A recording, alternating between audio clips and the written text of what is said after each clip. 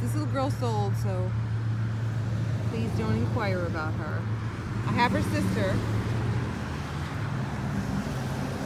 It's puppy number eight. No, puppy number seven on my website. And her brother is puppy number eight. Doing a separate video because having them at this age out here, too many of them is too much. They fly all over the place. Look how loving she is. How pretty. And how she's lightening up just like I said she would.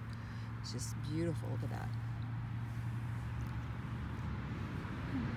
You're going to make somebody very happy. a little surprise.